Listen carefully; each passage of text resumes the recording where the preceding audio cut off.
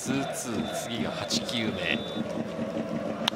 打ち返してショート見事な坂本のプレーが出ました。ビッグプレーで赤星を守るそんなプレーが出ました。キャプテン前キャプテンの坂本です。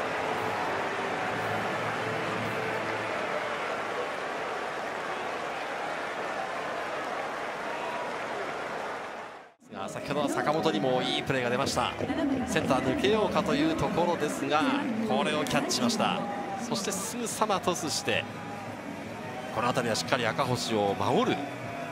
そんなプレーが出てますね。いや素晴らしいですね、えー、これ抜けると抜けないじゃ大きな違いですから、はい、今後の展開にね。ですね。いやもうこれギリギリのプレーですから。はい。本当素晴らしいです。ワンエンドはちょっと中に入ったか。おっと取りました松田がジャンプしてキャッチしました。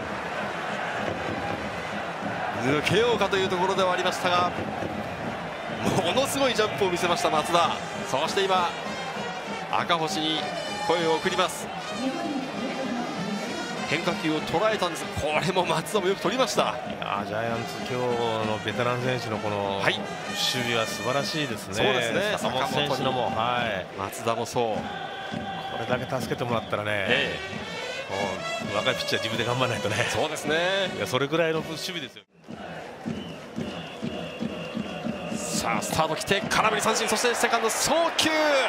タッチをアウトにしました三振ゲッツー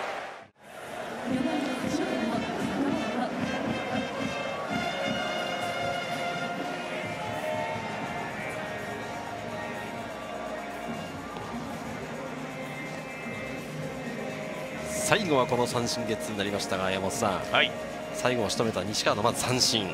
どうでしたか？ねおそらくですけどもキャッチャースライダーのサイン出したんです